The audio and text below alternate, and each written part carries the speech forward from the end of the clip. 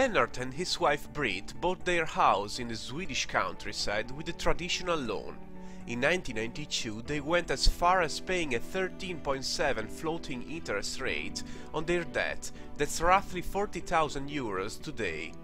Back then they discovered JAK and began to save money in order to gain saving points.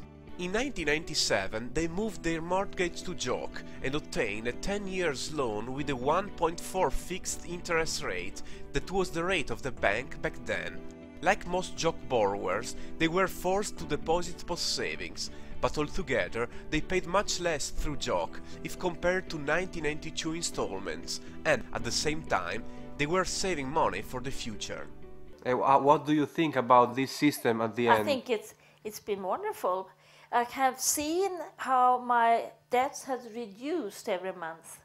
In the ordinary bank, it didn't reduce the debt. It only paid the interest and a small amount to reduce uh, the debt.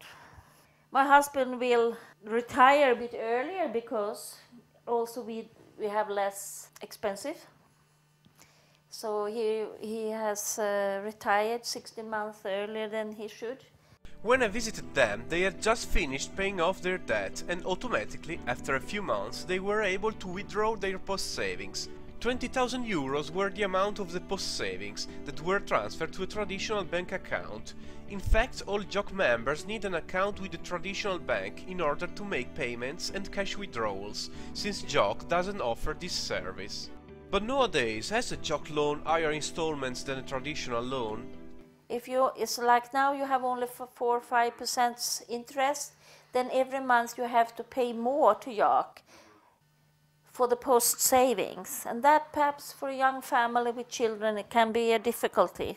And I know that uh, some people they divide their loans into many shorter loans, one part for five, one part for ten, so they get their post savings um, after a while. Martin lives in Helsingborg. He recently bought a house which he paid 210,000 euros. He made a 5-year loan with JAK to cover 5% of the total debt. The rest is going to be paid through a 30-year loan with a traditional bank. Why are you taking these short-term loans with JAK? Uh, because the after saving makes it impossible to have um, uh, higher uh, loans. So that's why I take as much as I can to afford. And a short term, I think is also good because then I got renovation and I pay back, and then I have a new one instead of having a big loan which I pay for a long term. What's the effective interest rate of this uh, five years loan? Uh, the JAK loan it's about 2.4 percent. There are other important differences that persuade JAK members to take part in this alternative financial system, even in ideal terms only. JAK is very local focused. We are not interested in going to China. We are interested in, in the, what's happening in the local Yes.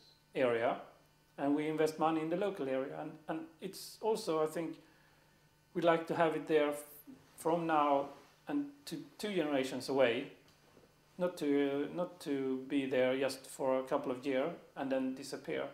This is what I call uh, sustainable economy. Mellanfjorden is a little fisherman's town in northern Sweden. Eva is an entrepreneur. She works in tourism and also manufactures fishing nets. She got a JAK loan to buy a boat engine.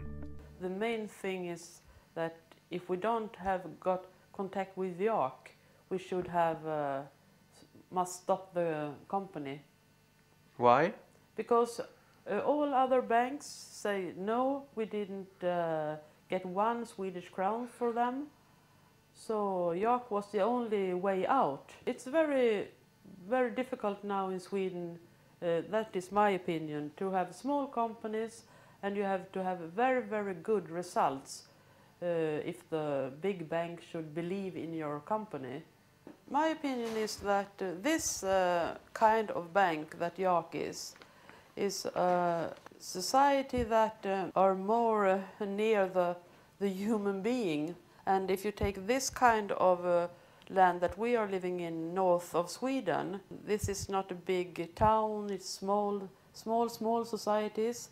and that is very important that JAK is uh, coming here and help us to start um, companies and uh, then uh, young people can stay here, live here and have jobs and so on.